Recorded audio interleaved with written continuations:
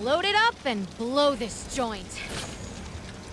Because, wow, has this trip been something? And I really would like to be home in front of a nice warm fire right now.